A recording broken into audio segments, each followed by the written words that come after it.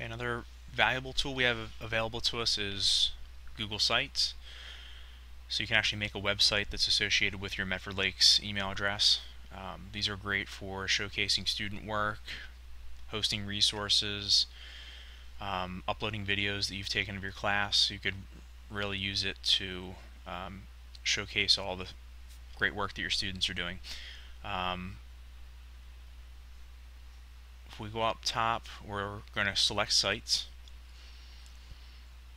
And the first thing we have to do is create a site. So we're going to create a site here. And you can either choose from a blank template or choose from a template that's pre-made that has um, already has certain parts of the site set up for you. So I suggest starting blank.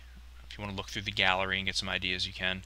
Uh, the next thing it's going to ask us to do is to name our site. So you look down here, your URL is going to be something like sites.google slash Medford Lake or Medford Lakes K12 NJUS and then whatever you name your site. You can call it your last name. Um, if you're going to use it for some certain part of one of your classes, maybe just history, you could do your last name in history or or just make something random up. Um, I'm going to just call mine Wassel. And I'm going to select a theme here.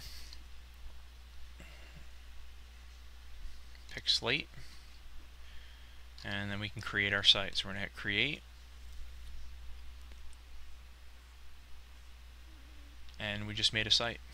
So obviously the hard work is adding things to the site, um, but these sites accept all types of media.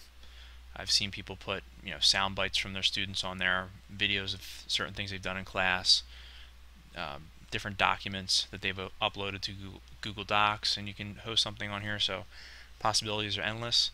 And if you want to learn how to uh, get more technical and build your uh, build your website, I'd be happy to help anybody with that. So good luck.